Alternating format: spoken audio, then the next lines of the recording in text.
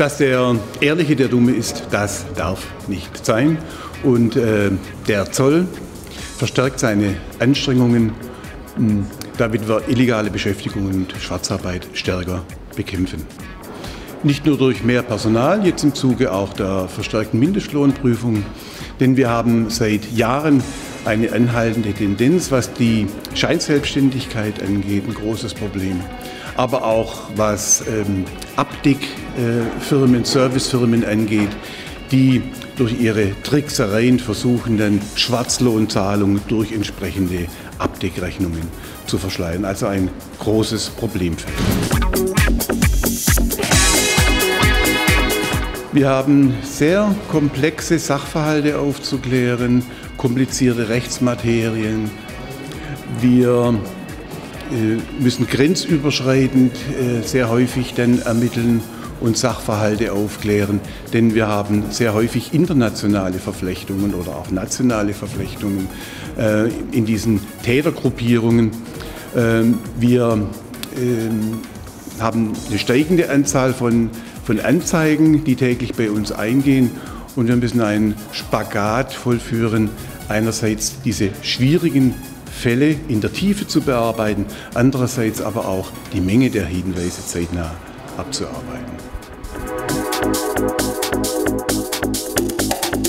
Das liegt uns sehr am Herzen und äh, ist sehr wichtig.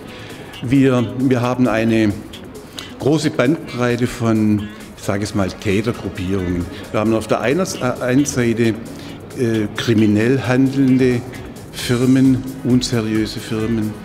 Und auf der anderen Seite haben wir Firmen, die diese Firmen beauftragen, mitarbeiten. Äh, und diese Firmen sind nicht selten unwissend, nicht achtsam genug, manchmal sogar fast naiv und äh, beauftragen solche Firmen.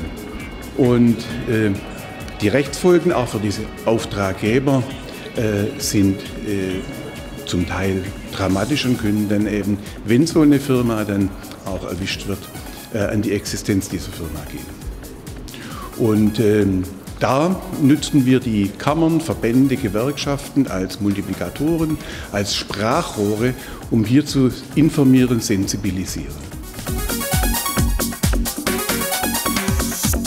Wir sind in den letzten Wochen und Monaten dabei, Gespräche zu führen mit großen Baufirmen, mit Vertretern der baden-württembergischen Bauwirtschaft, mit Gewerkschaften, mit kirchlichen Einrichtungen wie der Betriebsseelsorge oder mit der Einrichtung wie der fairen Mobilität, um sozusagen einem runden Tisch dafür zu sorgen, dass wir hier in der Region Stuttgart einheitliche Standards bilden und diese auch dann tatsächlich leben, damit wir saubere Baustellen, mehr saubere Baustellen dann, dann bekommen, äh, um diese unseriöse Fremdfirmen dann vom Markt zu halten, diesen Firmen praktisch den Nährboden wegzunehmen. Und da gehört das Handwerk freilich auch dazu an diesen Tisch.